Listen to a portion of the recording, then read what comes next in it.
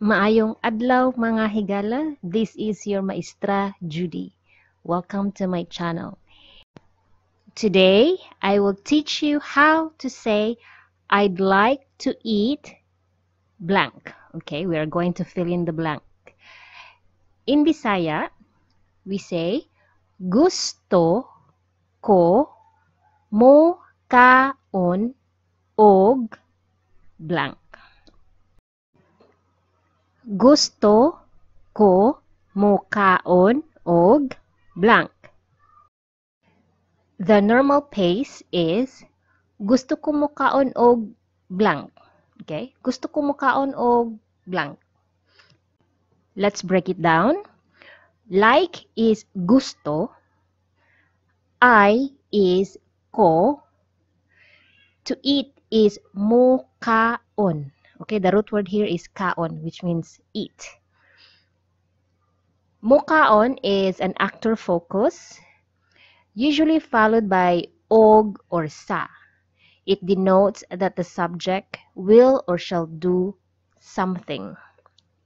Okay? Now, og here is an object marker or an objective article um, a or an in an English um, language.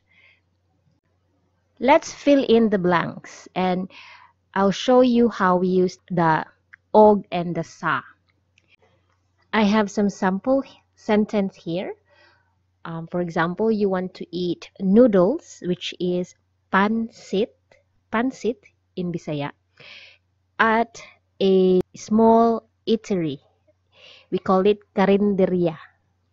Okay, let's go over our sentence. Gusto ko mo kaon og pansit sa karinderia. I'd like to eat noodles at the karinderia. Okay, so the og here is the object marker. So the object here is pansit. And then the sa here is like um, the English preposition in, on, at, to, for, uh, of. Okay, so in this case, the sa here is indicating a location, which is um, the preposition at.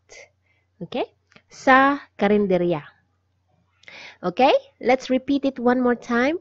Gusto ko mo kaon og pansit sa karinderya.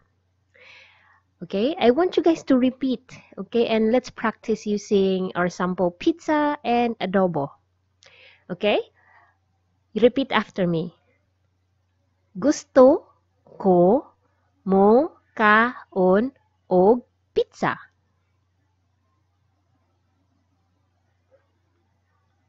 Okay, another one. Let's try adobo. Gusto ko mo kaon og adobo.